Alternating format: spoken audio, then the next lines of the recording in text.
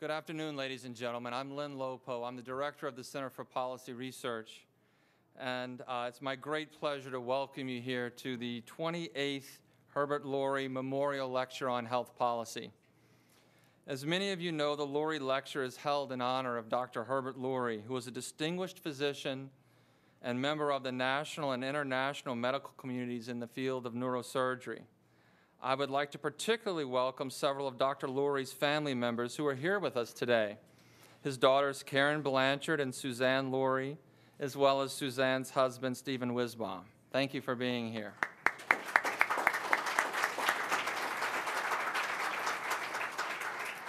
This lecture series is a wonderful opportunity to bring our community together with a distinguished and thoughtful individual who was involved in the issues that animated Dr. Lourie's life. Today's topic is particularly relevant. The Lourie family was a victim of gun violence. Dr. Lourie and his wife Betty were both wounded, Dr. Lourie fatally. Betty survived and was, until she passed away two years ago, a longtime supporter of many educational, social, and cultural initiatives in our community, including Syracuse University.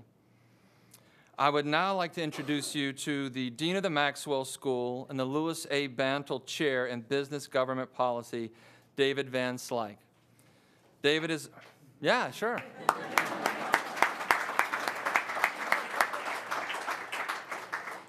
David is a close friend and has an exciting vision for the school, and I think we're all very excited to be a part of that. Prior to becoming Dean of the Maxwell School, David was Associate Dean and Chair of the Maxwell uh, the Maxwell's Department of Public Administration and International Affairs. He is a tenured professor in the Maxwell School and the College of Arts and Sciences, and a leading international expert on public private partnerships, public sector contracting and contract management, and policy implementation. Welcome, David.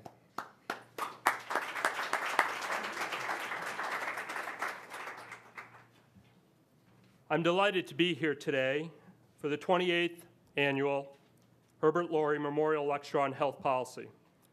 Like Len, I too would like to thank the Lourie family for their generous support that has made this lecture possible.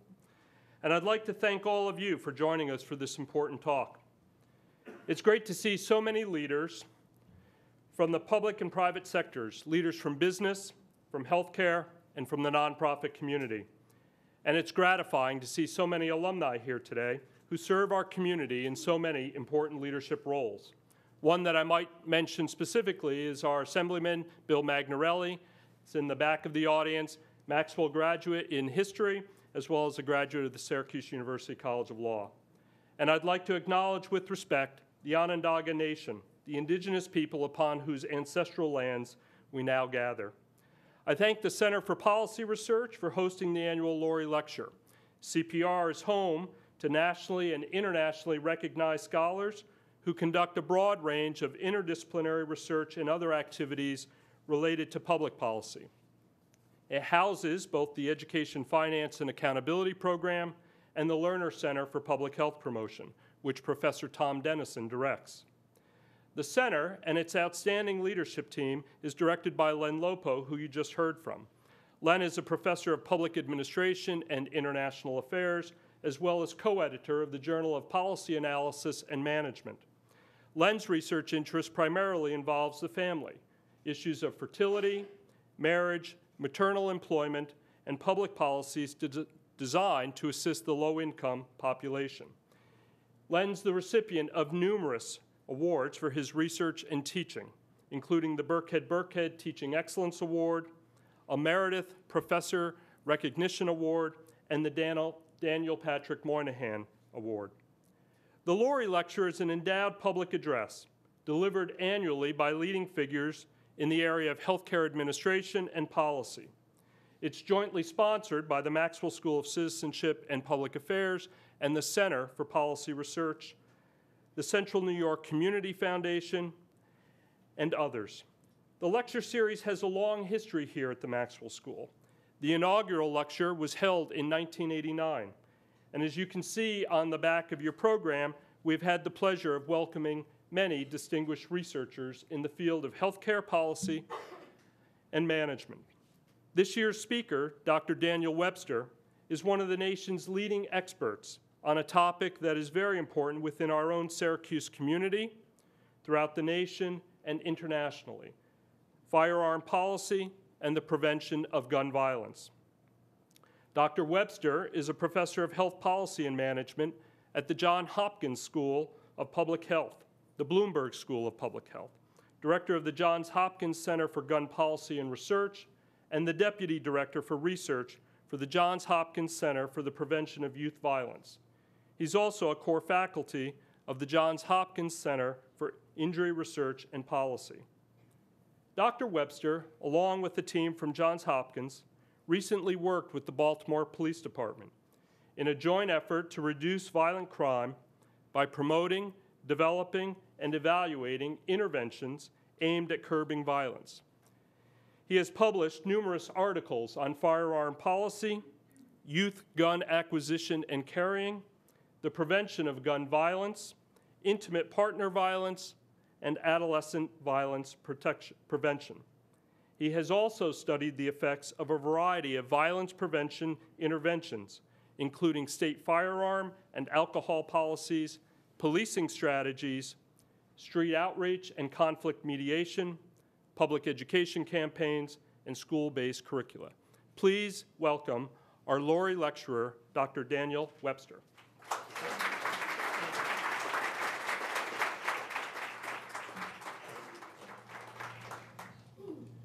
Thank you very much. Uh, it's a pleasure and an honor to be here. Thank you for inviting me. Thank you to the Lourie family for having this. Uh, it's, it's a great honor to be here, and, and I've just enjoyed my, my day here so far with uh, so many nice people. Um, got a lot to cover and not a lot of time. How do you reduce gun violence in America? It seems rather daunting. Um, I'm going to take you through what I think are some of the key, uh, key things we uh, can do to have far less gun violence in America. I'm going to leave some things out because, again, you know, we, we, could spend a few of these in a row uh, and not cover everything. But we will have some time at the end for questions, um, answers, and, and comments that you might have um, about something that talked about or, or something that I, I missed. Um, when we think about our country and, and violence, uh, it's easy for us to just conclude that uh, we are a terribly violent nation. Uh, we see violence on a daily basis when we open our newspapers, turn on our, our computers, listen to the radio or TV. Um, but I, I want to um, impress upon you my own, what, what I think the data tells us about the United States and, uh, and violence. If you compare the United States with other high income Western democracies, what you'll find is we're average on a broad range of indicators of aggression, violence, and risk factors for violence and th these are depicted here. Uh, we don't use violent media any more than these other countries. Um, we don't have more bullying or adolescent fighting. Our rates of mental illness are comparable. Actually, on substance abuse, we're on the low end of the spectrum. Um, but what sets us apart is our homicide rates. Our homicide rates are about seven times higher than the average of these other high income countries. And that's because our gun homicide rate is about 25 times higher. Um, this is a trend for our uh, homicide rates nationally from 1990 through 2014. These data come from the Centers for Disease Control and Prevention based upon death certificate data. They do not include 2015 and the FBI, which is a different uh, government agency collecting information on similar outcomes have shown that we have experienced a noteworthy increase in 2015, and in some cities are seeing increases in 2016 as well. But the important thing I want to impress upon you is, is how far we have come. Um, I started my career, uh, I uh, came to Johns Hopkins on the faculty in 1992. And, oops, what did I just do? And you'll see what progress that I contributed to. No, I didn't do that. um, no, the, the point is our, our, our, gun homicide rates are about half what they used to be or, or, or even less. Uh, so when I first entered this field, th there was a feeling that, oh my God, how are we ever going to tackle this problem? How are we ever going to create greater, greater safety and less gun violence? And we did. Um, what is so noticeable, however, is the mass shootings. These shootings that occur uh, in public places with a lot of victims that make us all feel incredibly vulnerable. Uh, this uh, simple graph just shows you some different era, eras, excuse me, uh, before, during, and after we had a federal assault weapons ban that also uh, banned large capacity magazines. um, and what we've seen here is a threefold increase in recent years in both the number of people killed and um, non-fatally wounded in public mass shooting events. What we don't see is actually the most common form of death by gun in the United States, and that is suicide by guns. Suicides by guns outnumber homicide by guns almost two to one. Okay? So this is an enormous part of our problem. However, in this talk, I'm only going to briefly talk about that. Uh, but again, we could have a whole separate conversation. But I think there's a lot that we can and should do on that front. What's behind this recent trend is principally driven uh, by uh, white, middle aged, um, and older men. So here are the points I'm just going to touch in our conversation today that, that, that I think are important pathways to having much uh, lower rates of gun violence in America. I'll talk to you about our current, uh, what, you know, a technical term, prohibiting conditions. How do we screen people out of someone who can legally have a gun or not? And i will talk about how I think we can do that in a far more rational way that screens out more people prone to violence than our current policies. If those are going to be effective, however, you need basic measures of accountability built in your firearm policy that prevents those who are prohibited from obtaining guns. So these are what I broadly call accountability measures. Background checks are, are a key component, but they're not the only thing for accountability to prevent uh, transfer of guns to prohibited people. It's also, in my opinion, going to be important, uh, particularly as it relates to curbing urban uh, gun violence, to refocus our, our, our, resources and our approaches with less emphasis on drugs and more, interested, more emphasis, excuse me, on guns and violence. There's a strategy that I'll talk to you about, about focused deterrence, a very prevention-oriented way to use law enforcement resources in combination with uh, services and other more prevention-oriented strategies. Um, we also need to sort of um, make inv the investigation of gun crimes far more scientific than it is today you, you can watch TV shows and get the feeling that, oh, we've got an enormous amount of science that, that we're using. I wish it was as easy as those programs show, but I do think we can make advancements not only on the physical evidence, the physical science of it, but also on the social science.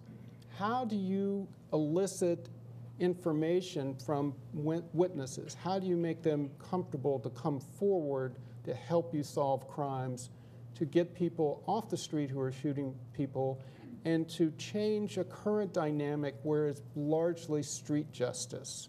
They do not rely on the police to hold some account, someone accountable. They hold them accountable through more gun violence. So if we can do a better job on that front, while it's principally thought of as a law enforcement strategy, in my opinion, it is also a prevention strategy that we can do much better on than we currently do. I'll talk to you about a public health strategy that uses credible messengers to try to change social norms and mediate some of these uh, conflicts among the highest risk individuals.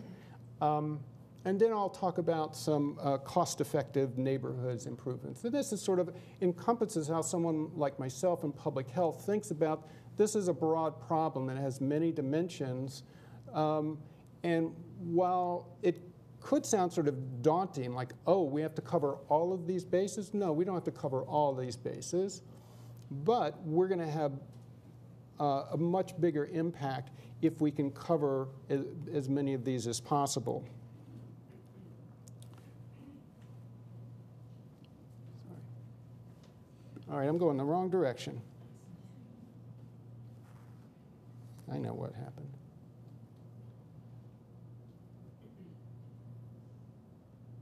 All right.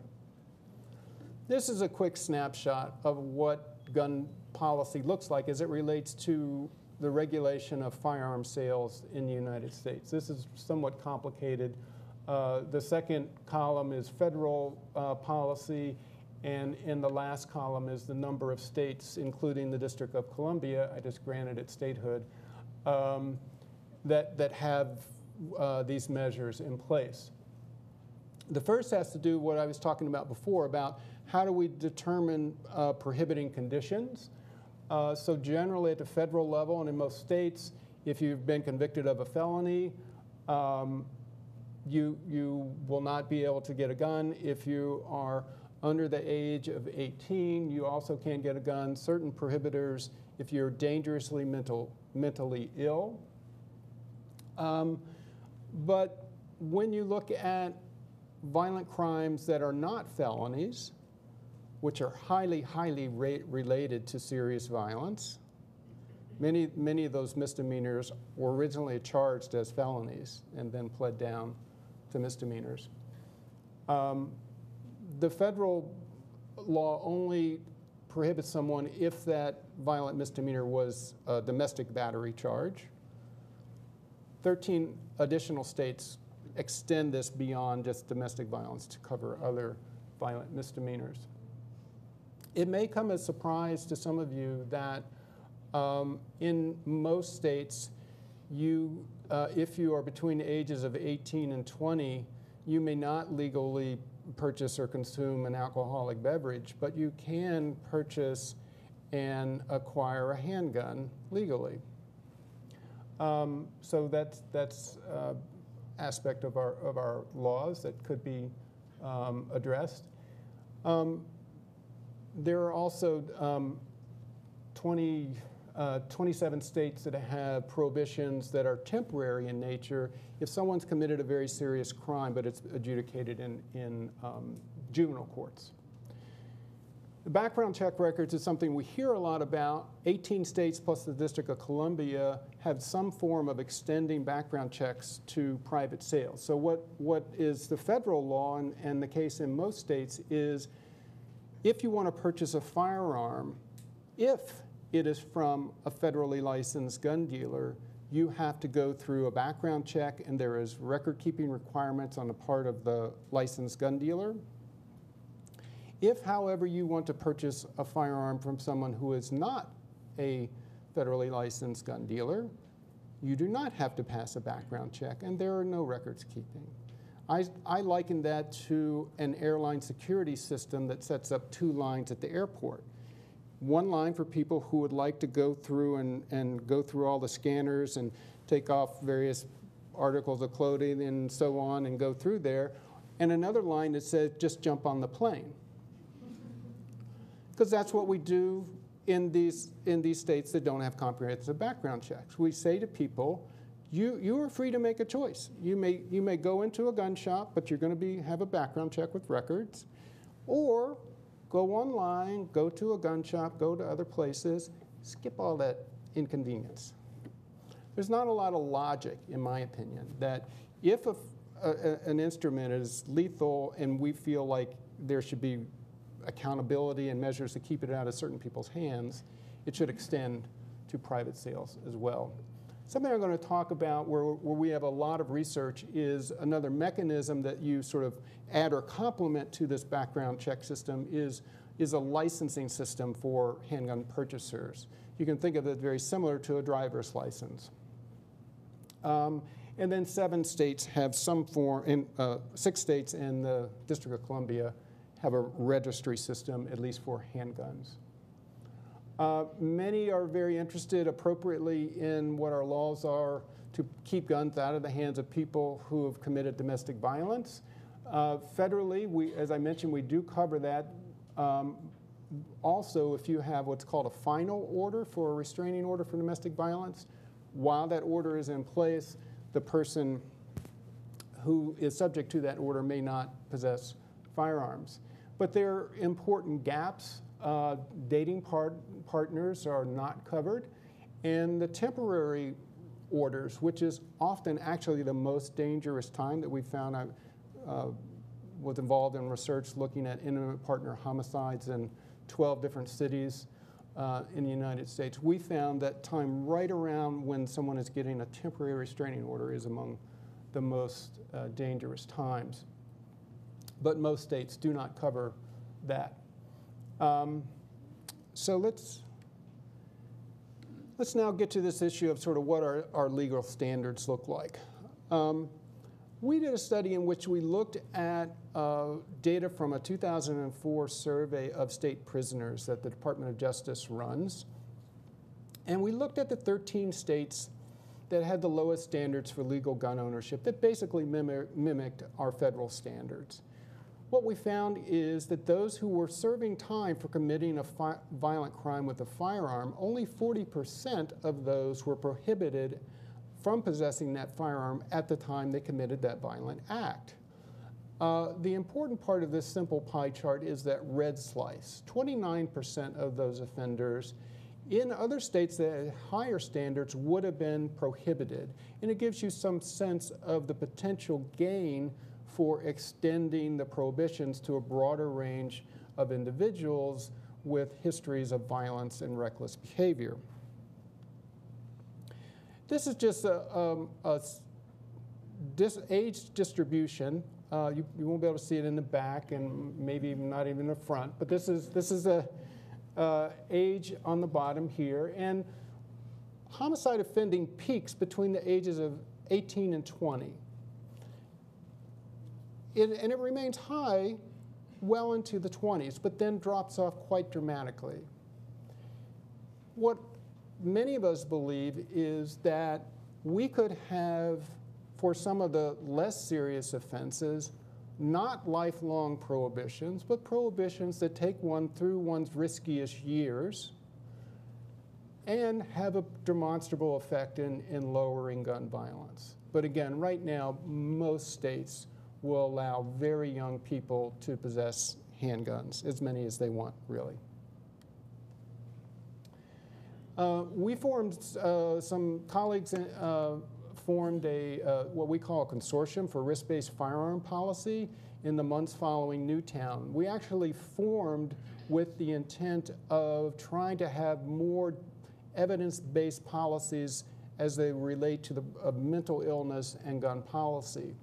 And we actually came away, this was actually to my surprise because we've had these conversations many times and never reached consensus. But at this meeting, we reached consensus that we would actually have a much larger impact on interpersonal violence if the focus was not what diagnosis you may or may not have for mental illness, because most mental people with mental illnesses are no more violent than someone without the mental illness. What is far more predictive of violent behavior is violent behavior. Kind of makes sense. So, though there are, of course, a subset who have experienced prior violent behavior and have a mental illness. And so we can look at those intersections and try appropriate interventions, policies, and otherwise. But it's important that to, to recognize we're going to really, the, the, suicide dimension of this problem, you can more accurately label as a mental health problem. It's not solely a mental health problem, but that's far more accurate. But if you look at the interpersonal gun violence, some, some of the best research says that no more than 5% might be attributable to serious mental illness. So we, we have these other recommendations that um, we think are driven, that are driven more by data and would have more impact. Uh, focusing on violent misdemeanor convictions, multiple alcohol or drug related arrests in a short amount of time. Actually, the evidence is much stronger on alcohol than drugs. We're, we're going to be meeting this winter and actually re examining whether the multiple drug offenses is still a defensible thing. But the relationship between alcohol abuse and violence is much, much, much stronger than drug abuse and violence. Um, temporary restraining orders we've covered, and this notion of gun violence restraining orders came out of uh, that, that body. If you haven't heard about this, this is something that California adopted in, uh, that became effective January of this year. It is actually a ballot on the ballot initiative in the state of Washington. Basically, it would operate like other civil restraining order processes that we are more familiar with with domestic violence, but it extends that if you have a family member, someone close to you who you see is really in a very, very dangerous place, whether it has to do with a mental uh, breakdown or whatever, and they have access to firearms, that at least on a temporary basis, you give authority to remove those firearms so that situation can be assessed. So a lot of risk is very um, uh, incident focused. So there can be a crisis time where it's very important to uh, give authorities to, to remove guns in a temporary way until you know that that is a safe situation. What do we know about the evidence? What we know is that generally when you extend to cover more of the violent behaviors, you have uh, greater reductions in violence. We know for domestic violence restraining orders, for example, several studies, including some that I've uh, been involved in, show that it reduces intimate partner homicides. Not by as much as I would like, probably in about 8%, but it does have a protective effect. Extending um, prohibitions for violent misdemeanors. Uh, Garen Wintemute is found in California, reduced violent offending by 29% in the affected group.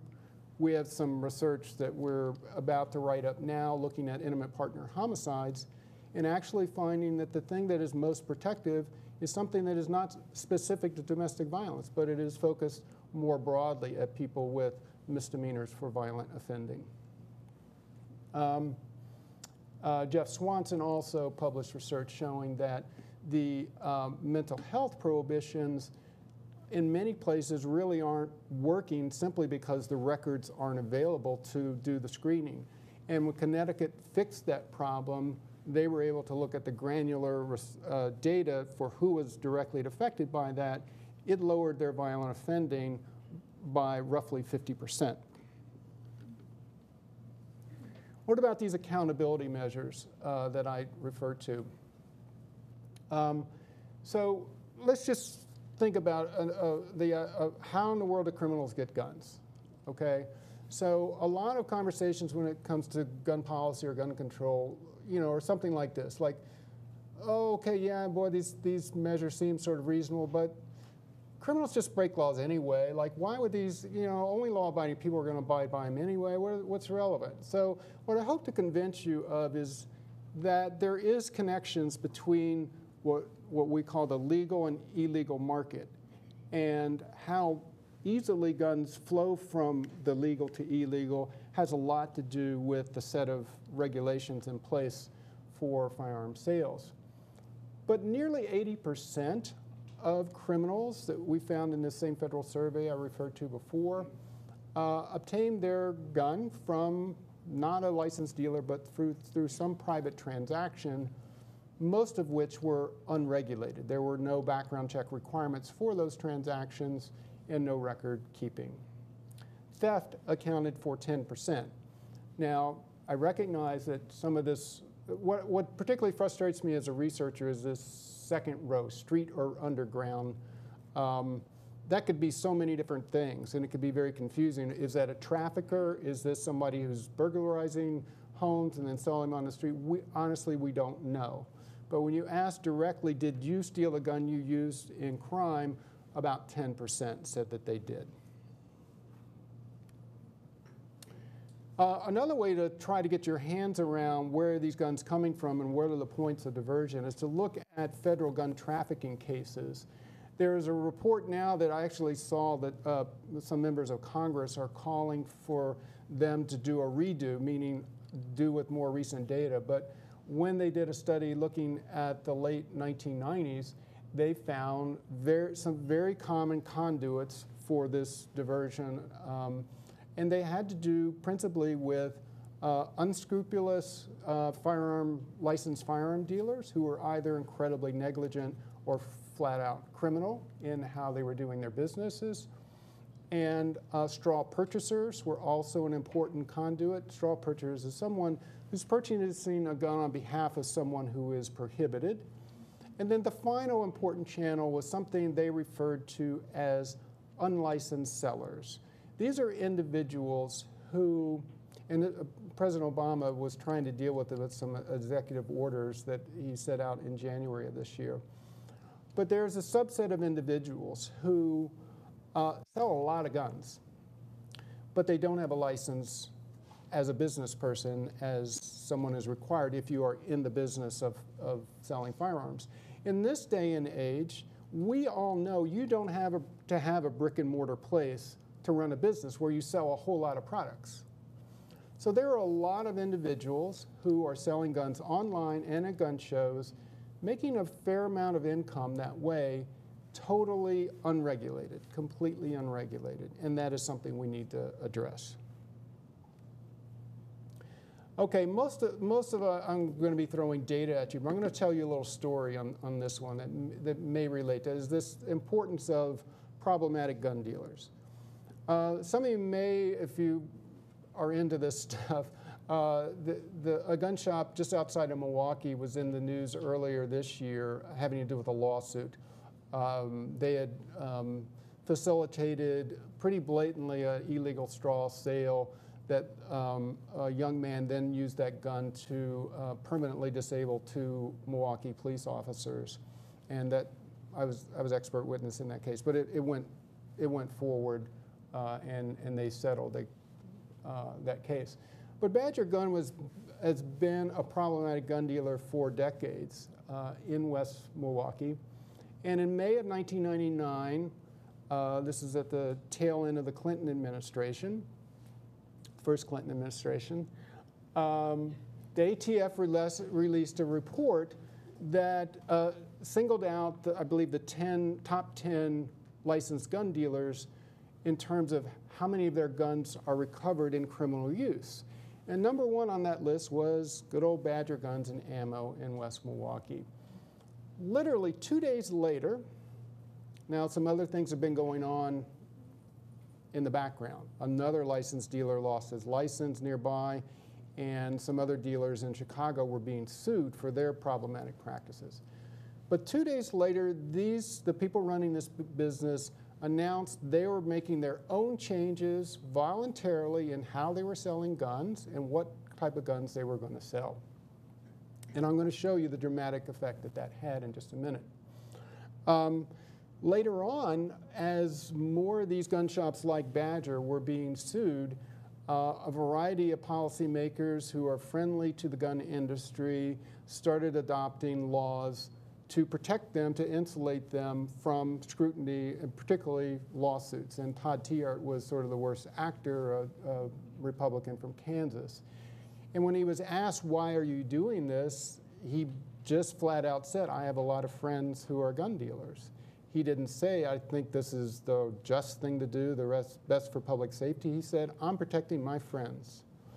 Uh, I guess he didn't care about the friends who were dying in Milwaukee and some other places because of unscrupulous practices of a very small segment of licensed gun dealers. That's the beauty of some of this research actually is we see that maybe 5% of licensed gun dealers are connected to about 90% of the guns used in crime. Okay? So don't, don't believe that all these gun shops are all crooked or anything. That's not at all the case. It's a small number of bad actors that are taking advantage of very weak regulations and oversight. Uh, so eventually, they, they end up losing their license for being so blatantly uh, and willfully violating firearm sales practice. Well, I want to show you a little data from, from our, our study. So this will be hard to see in the back, but uh, we're looking at um, the solid line here is guns that are sold by Badger Guns and Ammo and then recovered in crime. You see, this is when they were called out as being the number one dealer in the country selling guns that get used in crime. Then they did their voluntary practices, fell off a cliff, the rate at which their guns that they were selling were then used in crime. Don't tell me that how you run a business has nothing to do with how guns are used in crime when you look at this evidence. But the interesting thing is that they gradually felt less heat from this whole process. And then here comes our friend Todd Tiahrt to the rescue with his amendment that basically is bottling up the data. So no one can even know who is selling what guns that you are used in crime. The only reason I knew is I went to the Milwaukee Police Department and got the data directly from them. I could not get it from ATF. Okay, so you saw this is a 200% increase uh, following the Tiahrt amendment. And what is particularly notable is this dotted line is all the other gun shops. So Mr. Tiahrt is protecting the bad apple gun dealers, and this is how they're responding. The, the ones who don't need protection, this isn't affecting them as far as their guns being used in crime. Does that make sense? All right. We've done some research showing that when you do undercover stings to find these very small percentage of gun dealers, bring lawsuits against them, in some cases criminal prosecutions, you have pretty dramatic reductions in indicators of diversions of guns to criminal after a retail sale. Uh, if you look at within state gun dealer uh, uh, sales and then criminal involvement, a 62% reduction in Chicago, a 36% reduction in Detroit. Now, New York City uh, saw the evidence that we produced on these cities and then wanted to do its own undercover sting and lawsuits. They had a very different situation because New York has much, much stronger laws than these other uh, places. And uh, the vast majority of their guns were coming from out of state. So they sent in undercover uh, investigators outside states that were, that were trafficking guns to uh, criminals in New York City. The vast majority of those who were sued settled almost immediately, and, and New York was not asking them for a nickel. It asked them to abide by a code of responsible firearm sales practices. Okay? We, we, we gave them the recommendations of what those practices should be. When that was instituted, we tracked in uh, about a 10 of the gun dealers that there had electronic data, sales data, 82% reduction in the likelihood that any gun that they sold would end up in crime in New York City. Again, more evidence that what you do at a retail level matters with the diversion of guns to criminals. Okay? Connects the dots between legal and illegal markets. Got it? All right. Um, what we're seeing more recently, of course, is more online, sales. Uh, there's been some really interesting, uh, important research done by Everytown for Gun Safety showing that in um, websites like armslist.com that have sort of the least uh, sort of oversight that uh, you find a great number of individuals who are looking specifically. They only want to buy a gun dealer, uh, excuse me, a gun from someone who is not a licensed gun dealer.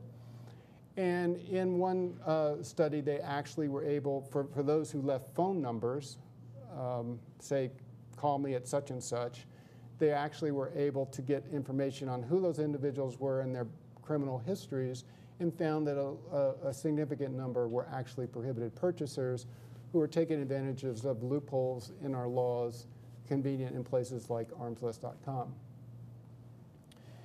I mentioned using the gun trace data and looking at these measures of diversion. We've published a couple of studies that look at the association between state firearm policy, sales policies and within state diversion. These are guns that are sold in a state and then used in crime in the same state, as well as looking at across state diversion or interstate trafficking. And what we see is some degree of consistency here, that these so-called permit to purchase or licensing uh, laws for handgun purchasers are highly protective, as is extending background checks to all sales. We found something very interesting when it had to do with regulation and oversight of gun dealers.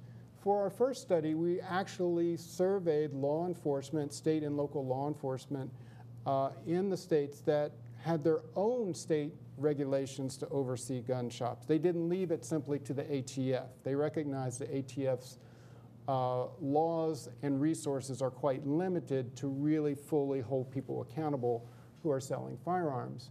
What we found is that the laws themselves were not associated with diversion. It was only when we had evidence that they were actually using the laws. And this will come back later when we talk about background checks in a moment. So you actually have to apply the laws rather than just do it just to appease somebody politically or whatever. You actually have to use the laws. Uh, we uh, should have, but did not examine another accountability measure, which has to do with mandatory reporting if you are a private citizen and you have a gun stolen. That is required of licensed gun dealers, but not of private owners in most states. But what we found is that it was actually strongly associated with preventing uh, diversion of guns moving across state lines. Now I'm going to tell you a story about uh, two states, Missouri and Connecticut. These are mirror image states in the policies that they had in place and the changes that they made. So uh, most recently, in terms of a policy change, in August of 2007, Missouri repealed a law that it had on the books for many decades that required background checks and a permit to purchase if you were going to purchase a handgun in the state, whether that's from a licensed dealer or a private seller. And you got that uh, permit or license through the local sheriff's office. Um, so they repealed this law, and then there, there was no regulation of private sales and no sort of check. Um, you know, these sort of impulse buys, just walk in, walk out, bring a straw purchaser into a gun shop. Those were now e much easier to do because before, I mean, just do your own thought experiment. Pretend you're a felon for a minute and you want somebody to buy you a gun, all right? So in one case, you say, hey, let's go into Badger Guns and Ammo, and they never bother us. We'll be in and out there in a few minutes. I'll give you a few bucks. Okay, we're good, right? And now do that thought experiment. You put your arm around your friend. You say, hey, I want you to buy a gun from me. First thing you need to do, you got to go down to local law enforcement officer, and they're going to fingerprint you and photograph you, and they'll keep your records and what gun you buy. Okay, so do you think that would affect whether that person says yes or no? I, I'm thinking it might. I don't know. I am going out on a limb there. So here's what we found, and uh, here's a, one metric of diversion. These very short, the, the uh, interval between a retail sale and use in criminal uh, um, act, uh, we tracked over time. And what we found is basically a twofold increase in this measure of diversion in Missouri when it got rid of those protections, okay? So very short interval between a retail sale and criminal involvement. Uh, we also found, and this is, this is what was particularly remarkable, because if you look at state to state and the percentage of their guns that are used in crime that were originally sold within the state versus out of state, those percentages are incredibly constant over time. They, virtually, they hardly ever shift, okay? But look what happened in Missouri, a very dramatic shift. It used to be about 55% of the guns used in crime in Missouri had been sold in Missouri. Go forward many years after these laws are, are removed, and by 2014, you have about three quarters of the guns used in crime coming from Missouri gun dealers. This is the more important graph. This is a, a simple difference between the firearm homicide rate in Missouri versus the rest of the United States. Okay? So you'll see that it was fluctuating up and down about uh, 0.5 per 100,000 higher generally uh, compared to the rest of the states. And then, very abruptly, beginning in 2008, you have a totally different uh, phenomenon. It is now fluctuating between 2 and 1.5 uh, homic- gun homicides per 100,000 uh, difference. We have uh, very methodically tried to rule out a range of explanations of what, hap- what the hell happened there. Like, how, how do you explain that? And we rule out that it had to do with policing levels. We rule out that it had to do with incarceration rate. We control for poverty, unemployment, general crime rates as, as measured by burglaries, as well as other public policy changes. And what we find is um, over a six year period, a 18% higher rate of gun homicide uh, associated with this policy change. That translates into about 49 per year additional as a result, result of this policy um, change. No other state, none of the rest of the 49 states, had a larger in, per capita increase in gun homicide rates over that time period. None. Um, and there was no change in non firearm homicide rates.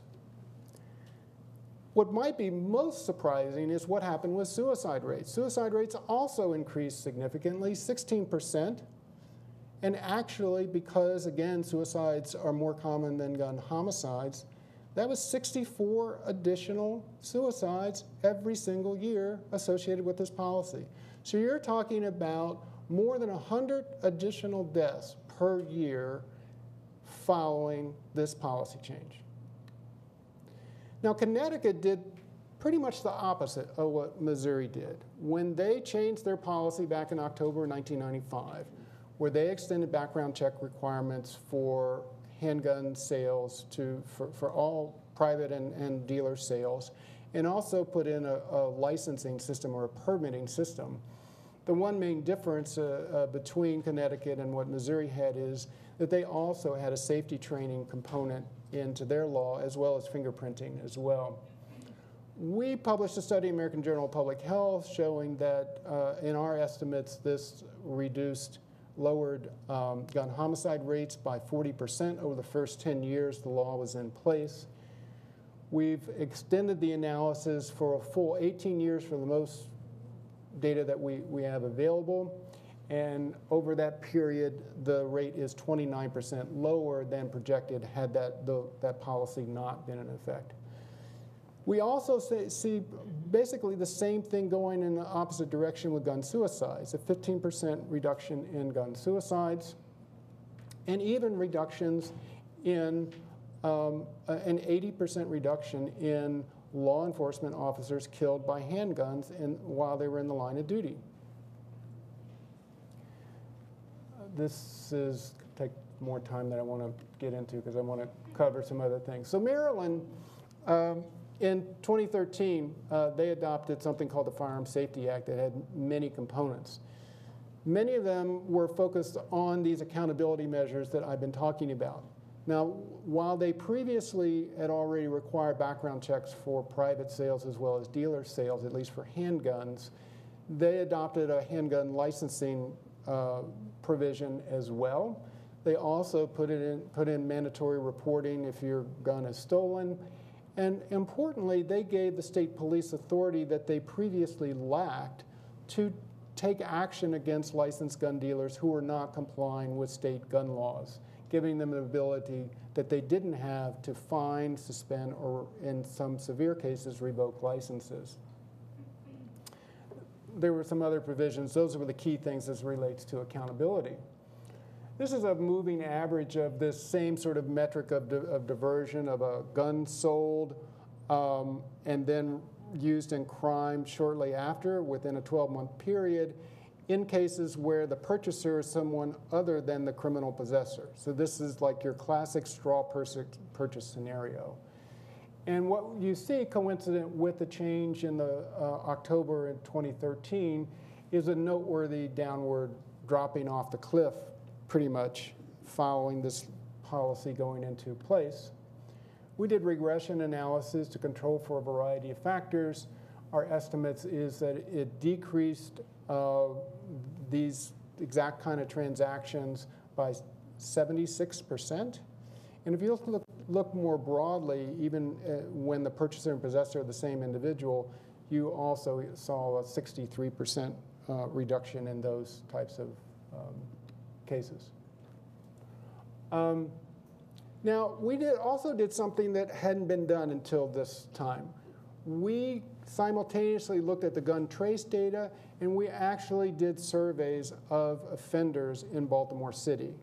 So we uh, recruited for anonymous interviews people on parole and probation in Baltimore City and uh, asked them a series of questions about their experiences buying, selling, carrying guns. What we found is we, we uh, surveyed 195 offenders, and we found that 40% said the policy change in 2013 made it more difficult to get a gun. 40% said it affected the cost, meaning it was cost more and was more valuable on the street. 34% said um, that the law affected willingness of others to buy a gun for them. And 25% said that it affected their ability to um, identify trusted suppliers. This is something that came up in a lunch conversation we were having. It can seem as though there are just so many millions of guns in the United States that how in the world could you ever keep a criminal from having one? What we learned from our studies of the underground gun market is the scarce commodity is a trusted seller or supplier. In the vast majority of cases, and I've done several, a couple of these studies and, and looked at other people's similar studies, people do not want to do gun transactions with people they don't know, trust, or have been vouched for. Okay? So when you're, you're uh, uh, what this seemed to suggest that this affected their ability to do that. All right. We, what has been lacking, however, in our broader conversation and what's been going on background going on in background checks in the United States is, by and large, we have not been discussing actually using those laws and enforcing them, um, which really I think is problematic, perhaps for obvious reasons. Uh, some of the laws have weak um, uh, penalties. Actually, almost all of them have relatively weak penalties. And some of them also have other burdens of proof that are very difficult to prove. So, it, what ends up is very few people get actually held accountable if they're not complying with the law. We were studying the effects of these laws in Pennsylvania and Maryland. One of the most striking findings to me in our uh, preliminary analysis is uh, Pennsylvania provides sort of a, a, really wonderful natural laboratory experiment, so to speak. So back in 1995, they extended background checks for all gun sales. However, the penalties were weak, um, and it, from what data we have, there, there wasn't a whole lot of enforcement. Roughly around 2008, um, some interesting things happened. They increased penalties for this law violation, and they actually, the state appropriated $5 million to Philadelphia to stand up a unit that its sole purpose was to investigate and hold people accountable for this. So, what our preliminary evidence from Pennsylvania indicates is that it was only then where you saw the protective effects. And again, to me, this makes good sense. It only had protective effect when it was actually used. Uh, so here's the, the, the gun seller accountability agenda. We've talked about these.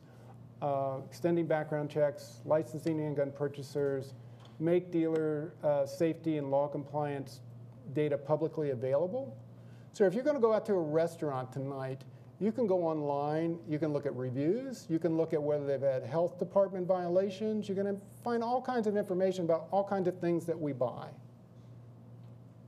You will find no, at least government information relevant to the safety of these gun dealers. So as I said before, you have this 5% who seem to have some issues, right? How do you know which of those 5%, you know, you're going into a gun shop, you want to go purchase a gun. How do you know who's a good guy and a bad guy? Right now, the federal policies are such that we're bottling up that data. And at least the Badger experience suggests that that matters.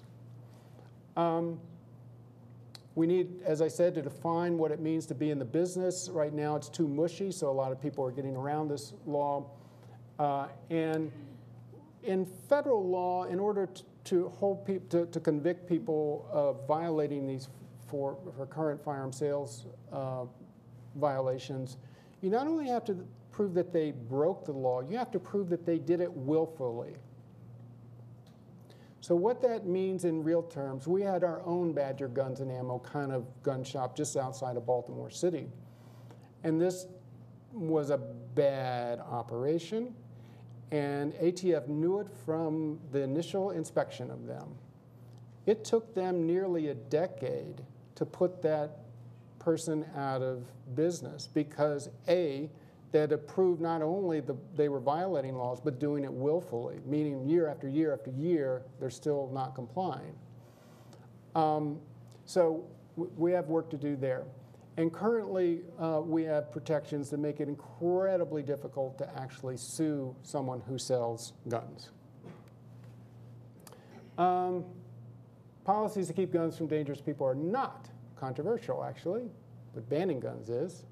So this is what I mean. We've, we've conducted a couple of national surveys, most, most recently in um, January of 2015, and we always oversample gun owners. And what we found is for the set of policies that are very directly designed to keep guns out of the hands of dangerous people, we found little to no difference and very, very high support for most measures by gun owners. Okay? So uh, the, these set of policies have to do with uh, the, the standards for legal gun ownership. And you see that basically they are, uh, most gun dealer, gun owners, excuse me, are uh, supportive of strengthening or basically raising standards for legal gun ownership. One thing to keep in mind when I, I mentioned this uh, about the legal standards for gun ownership, you have to be mindful this not only means who can legally purchase a gun and store it in their home. In more and more, the vast majority of states, what that means is that there is very little legal barrier then for that person to carry a gun loaded in a variety of public places, which adds a whole nother dimension of risk. When we look at the accountability measures and look at gun owners versus gun owner, non-gun owners, excuse me, we see absolutely no difference between gun owners and non-gun owners. 84% want background checks for all gun sales. Um, about six in 10 gun owners are perfectly fine with licensing. And when we, we uh, looked at the states that already have licensing, uh, roughly about 80% totally fine with licensing. Okay, it's not a scary thing. It's, they've done it, it's not a big deal. So you have a lot of support for a lot of ways, including these accountability measures for gun dealers. Uh, and, um, all right. Um, we also know, how am I doing on time? I don't have a clock that I'm looking at here. Okay. But what, it's five o'clock. Okay, I'm going to speed up. Okay, so hold on. Um, basically, uh, I wanted to convey that we're doing surveys and focus groups with gun owners, and generally, most of them are totally on board and are very safety conscious. They, if they do sell guns to strangers, some of them actually sort of voluntarily try to do things to make sure that this is a legal purchase, purchaser. such as uh, looking, uh, requiring a concealed carry permit, which is very common in a number of states. Um, the political path. You got to shift the culture of war to, uh, from a rut we're in now. This is about you, you keep hearing it's gun versus anti-gun, right? It's a it's a flat out cultural battle, urban versus rural, coastal states versus mid-America and southern states. Um, that is precisely what the gun lobby wants because that keeps us in our same rut. We need to change how we talk about this issue. We, and the, the way we're going to need to do that is to form relationships with gun safety uh, oriented gun owners. In public health, we talk a lot about cultural competence when we're trying to do behavior change, when we're reaching across race, race excuse me, racial, ethnic, uh, gender, other kinds of lines.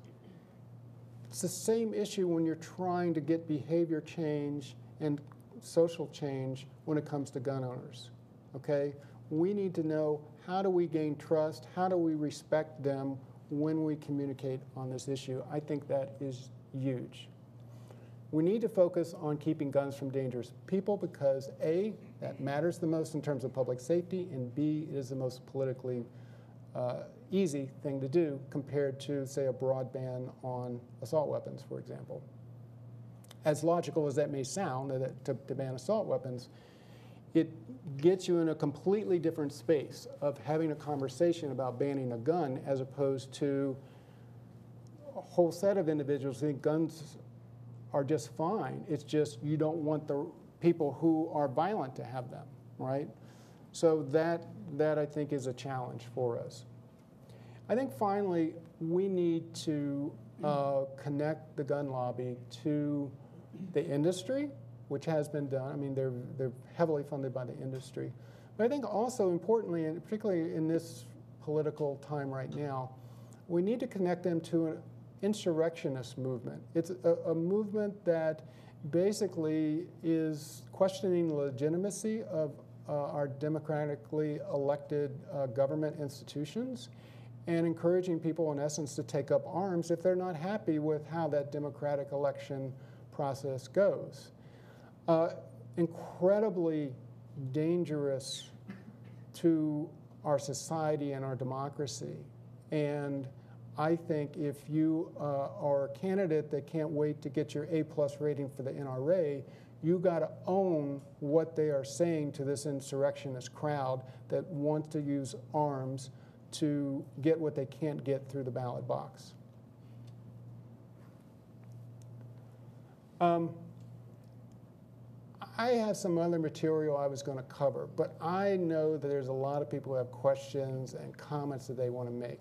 I'm going to just make a few general comments to not get into the details of, of my other slides. I want to convey that what we do in law enforcement matters. There's something called focused deterrence, very prevention oriented on those who we know based upon a combination of intelligence and criminal history is driving a lot of violence in urban neighbor, neighborhoods. We can encourage them not to use violence, not simply by threatening to throw them in jail, but also actually reaching out to them with services and from people from their community that are calling for them to come be part of the community and be a positive part of the community that has worked more consistently than any single thing we have done to address gun violence. It is not easy to do. There's a lot of these things are not easy to do. The public health strategy that used another strategy, a public health strategy, uh, hires former, often gang members to work in the neighborhoods that they are from to gain trust from those individuals to show them a new way, to show them how to mediate, how to resolve conflicts without shooting one another, uh, to um, basically change the norms and be their own local heroes, positive forces. What we find there, I've studied this uh, approach in Baltimore since 2007. Uh, over since to, from 2007 to 20, uh, 20, through 2015, uh, 27% reduction in shootings associated with the application of that uh, prevention model. Um, the final thing, actually, before I got to the public health, I, I wanted to say one other thing as it relates to enforcement. Um, and, and, I alluded to this on the drug when I mentioned uh, the, the, as it relates to uh, our policing of drugs. Uh, we just completed a study in Baltimore looking at data from uh, 2003 through the end of 2015 and looked at a whole range of things that were being done to try to address homicides and shootings. And we're, we're particularly interested in drug law enforcement practices. What we found is that that incredibly costly practice, costly in so many ways in terms of the actual police, prosecutors, jails, but costly to the communities that are losing fathers and contributing uh, members of their communities because they are involved in this illegal economy. I'm not saying the, everybody in that industry is, is a choir boy by any stretch, but this is a public health problem. And what, uh, what we find is that when there are surges, when there are big increases in drug sales arrest, you actually have more shootings that occur. You are disrupting an illegal economy. And because that demand does not go away, and sadly, the labor supply for that drug industry is endless, I'm sad to say. What you simply do is you incentivize using violence to settle whatever disruption occurred when you brought in and arrested a lot of people. So, so and, and this is very consistent with a broader set of studies. Actually, it was, it's rather shocking how little research there is on one of the most common forms of policing, particularly in urban areas. But when it is systematically studied, it more often than not shows increases in violence rather than decreases in violence.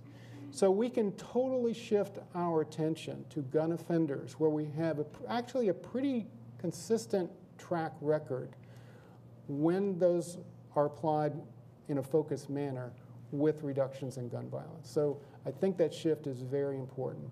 I'm going to end it there so we can have time for questions and um, comments.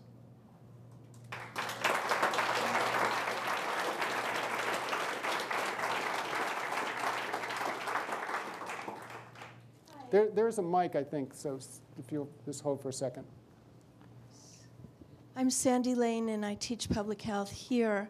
Um, I'm part of a research team in Syracuse working on neighborhood violence and trauma due to neighborhood violence. And Helen is part of our research team, Helen Hudson, uh, first row. And so is the chief of police, uh, trauma response team, which is a neighborhood group, and uh, Street Addiction Institute Incorporated, another neighborhood group, and Mothers Against Gun Violence. Um, so we've it's been. great that you have those groups. I mean, oh, congratulations to Syracuse amazing. thank, thank you. We've been working together for now five years, written a bunch of grants. Some got funded, uh, published articles together, um, and we've um, begun to address the trauma uh, in neighborhoods inadequately. One of the last maps we did was a gun uh, violence map in Syracuse with data from the chief of police. Um, there's about th- 325 gunshot episodes per year documented by the police, 22 to 25 murders. Um, and then there's a bunch of other people who are killed with stabbings and sure. stranglings and sure. stuff. Um, and so, where the elementary schools are in gunshot clusters, there's seven of them out of the 19, um, suspensions of children is tw- are twice as high in the elementary grades, and uh, third grade reading and math scores are half as high. So um, we've been struggling to think about what we do next. Right. We've actually uh, tried a, a, fair number of um, things, which are some of them are working somewhat. Yeah. We would like your help we would i just th- i'm speaking for everybody i'm sorry but they'll probably mm-hmm. agree uh, right helen yeah yeah we're gonna we're, we agree already and and into so uh, so we would like your help to do exactly what you did in New York City, and okay. I know Chief Fowler, who is a, wonderful person, chief of police, would agree. Uh, we would put the people behind finding where those guns came Right. from. I, I think that would be fantastic. So it is much easier to do on a local level this sort of examination. Uh, you, i i i you encourage local law enforcement to say, we not only want to arrest people after they shoot somebody, we want to try to prevent this. We want to, we want to hold people accountable who might be part of the process of this channel to, to individuals. And law enforcement themselves can take it upon themselves. They submit the traces, you know, the, they recover a gun, put down the information, they send it electronically to ATF, ATF does the trace, and now Syracuse Police owns that data. So they can say, yeah, the X number of these guns came from this shop, this one, this shop. And it's not just the overall number of guns, it's the ones that really move rapidly from a retail sale and then boom, they're in crime. Something's wrong. Something's wrong when it happens really fast. It's far less likely to be a theft and far more something going on. And, and it's not, you know, you can't, it's not always going to be the dealer, but when dealers are given incentives, they know people are looking, and particularly people with badges are looking, they're safer. They're safer. Thank you. You've given us the next, uh, the insight for the next phase of our work. Sure. Gentleman back here. How you doing, sir? Thank you. My name is Clifford Ryan, and I do a organization called OGs Against Violence, Our Generation Against Violence. I just want to say um, it's an honor to be here and uh, to get your knowledge and um, information as far as gun violence is concerned. One of the things that I do is I go within the community and directly reach out to the ones doing the violence. So the mental aspects of it, I'm trying to learn how to deal with more because it's pretty traumatizing, you know, when I deal with individuals um, getting ready to shoot. I was able to stop 35 individuals from going to do gun violence. So I'm trying to gain this. Thank you, thank you. I'm trying to gain more knowledge of the mental aspects because I know you spoke on that, um, distinguishing what you know what the mental capacity of a person is as far as that threat of violence is concerned. Right. Um, so, first of all, of course, thank you for the work you're doing. It's very heroic. Um, when we started studying this program in Baltimore, and we, the very first community that put it into place was actually a stone's throw from our campus. And, um, and it historically had one of the highest rates of gun violence. Um, they went for a two-year period with no homicides whatsoever once they had people doing the kind of work that you did. That had not happened. No one could remember a two-year period where no, there were no homicides. We honored those individuals. We created a community hero award at our school of public health and had a big ceremony to recognize them. And I think what you, you and other people who do that need to be recognized. When you think about what that is, and you described it very well, but again, try to put yourself in somebody's shoes. Your job is go into the most dangerous parts of a city, find the people at highest risk. You don't have a gun, a badge, or anything, and you're going to convince them because of your credibility, your heart, your commitment to peace, to put down the gun. And they do it. It's not easy, though. It is not easy. So if you look at what happened in Baltimore, we have some shining success stories, and quite honestly, not. So, a broader thing that I wanted to convey in a lot of these different approaches that I can say, you know, I'm an academic, so we do these jargony things like evidence based approaches, right? So, we have evidence based approaches in a lot of different things, but the reality is that they don't work on autopilot. You have to get the right people, and you have to have the right management, and you have to do it wholeheartedly, right? And so that did not always play out in each and every each of these communities. Some had really wonderful success. Overall, as I said before, 27%. Um, I think, you know, we, I also had a doctoral student who interviewed individuals like yourself doing that work to learn how in the heck do you do this? You know, because I have to admit, when we first started this, I was a skeptic. It's like, huh? You're going to go in there and tell gang members not to shoot each other? They're going to laugh at you. Get out of here. Um, but they did it. They did it. And uh, brave, brave people. We, um, hats off to them. So, what I would, a reality that I would love to see is that workers like yourself are routinely thought of as this is part of how we can uh, keep communities safe. We can't get rid of the police department. We need the police department.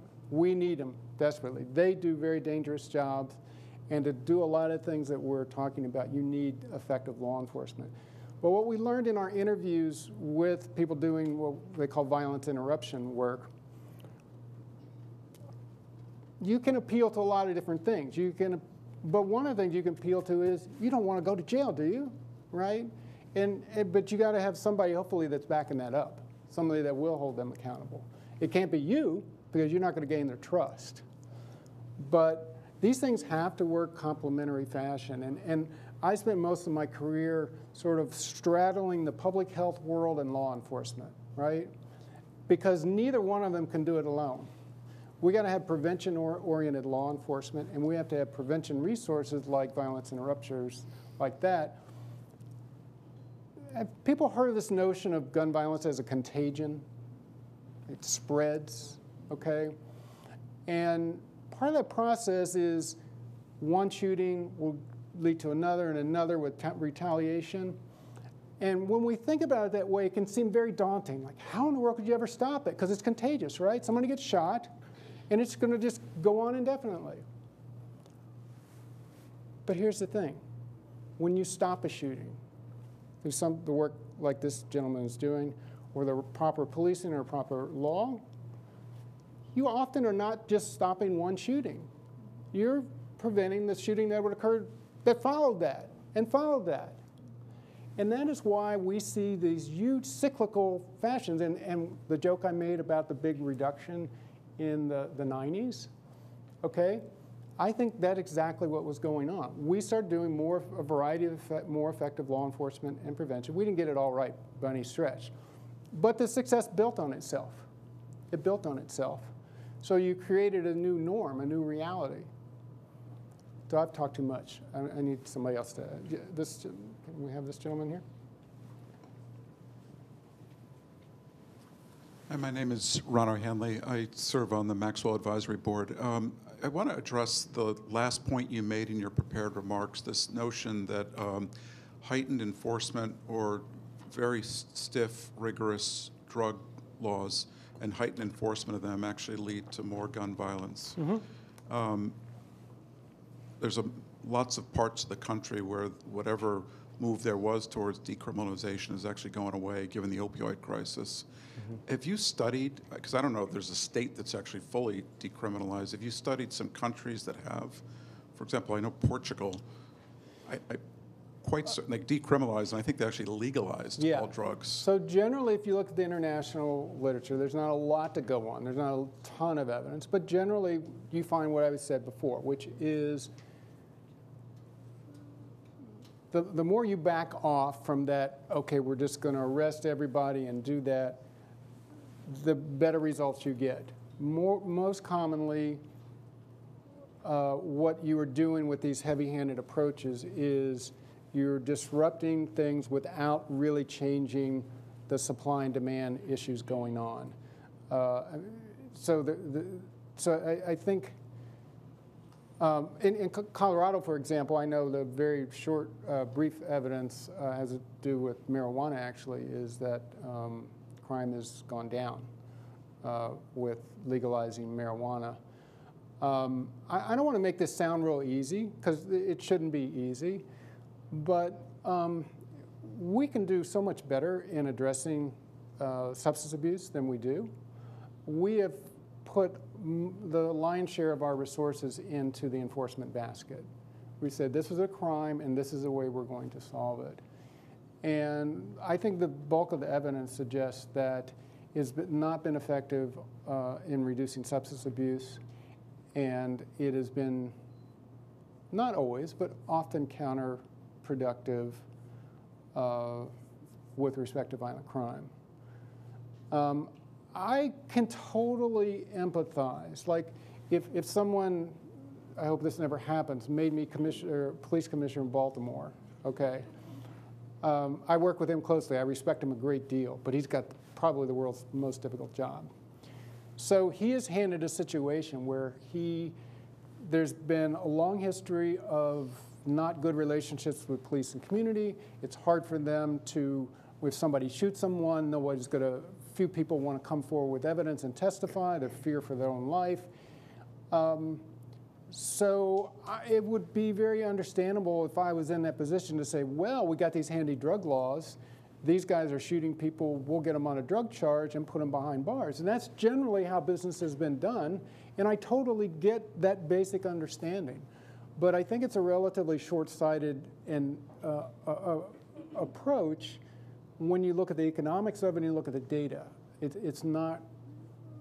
It's not really helping the major drug bust that's sort of, okay, we're going to take down this organization that's working in West Baltimore or whatever, we find in the best set of circumstances, when we give all the most generous assumptions, is that uh, you might depress shootings for about five months and they go precisely back to where they were. That's under the best case scenarios. I want to give this. Uh, I just want to make a comment because I know we're talking about, I'm with, I co-founded Mothers Against Gun Violence. I'm part of the trauma response team. And what I'm finding is we're working in the schools because we have to start working with the younger population because when we go into the schools, the majority of every child from third to fourth grade have either experienced gun violence or stabbings or witnessed someone in their immediate family mm-hmm. being murdered in some form. And I think that is now we need to start in some of the lower grades before they come through the cycle Right. of the violence. Well, there, as it was mentioned earlier, there's, there's a growing body of research showing the damaging effect of being exposed to that kind of violence, particularly when you're young. Is, it is very damaging. It doesn't mean you are scarred for life. You, if you get the appropriate supports, it, it can matter. Uh, one thing I'll just make a brief comment. I was uh, I headed something we uh, called a homicide review commission in Baltimore for a year, uh, and we looked in depthly at the individuals connected, both victims and suspects in homicides. Probably the most striking thing to me was virtually all of them had early school issues, school failures. Um, how many of them were connected to early trauma and other things, I don't know. But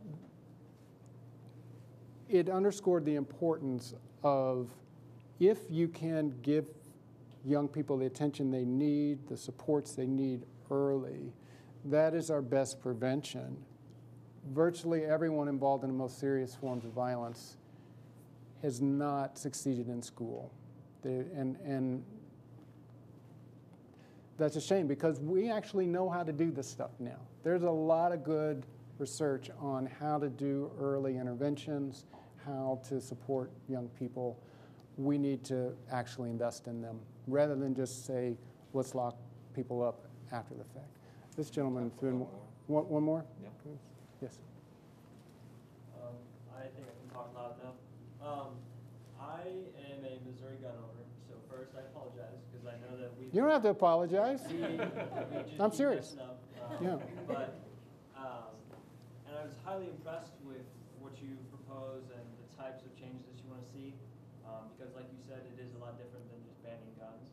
Um, but I do want to question you on the slide about your assault weapons ban with before, after, and during. Mhm. And I, that struck me as Okay. too much on that one thing. Okay, fair enough. So, A, I'm glad that I, I got a gun owner to respond. Good, I'm glad. No, but, but I want this to be part of the conversation. I, I want that kind of feedback. So I should have said, point taken, I should have said, the simple graph that I showed you is not proof that the assault weapon ban was connected to all of this. I don't think that's the case. I do think, and there's, there is a correlation between ammunition capacity of someone who engages in that practice and how many people get shot. Okay, so I don't think that it's completely unrelated, but it's not everything that's driving this this increase that we're seeing now. So, uh, but but I do think the weapon is one one component of this. I think there are other really important social changes and other things going on. Um, but it is certainly not all the th- weapon uh, at all.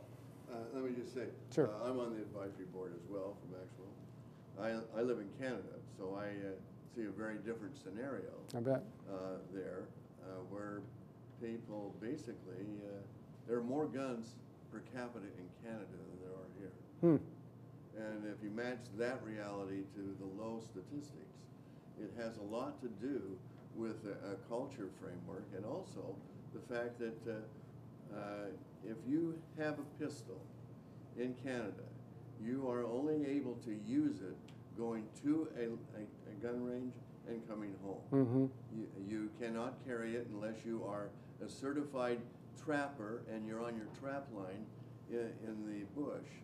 Uh, so, I mean, the reality is that uh, the multiple firearms and so forth uh, are used at shooting ranges, Mhm. but uh, it changes everything with the right legislation. Right. And I- it doesn't take away people's right.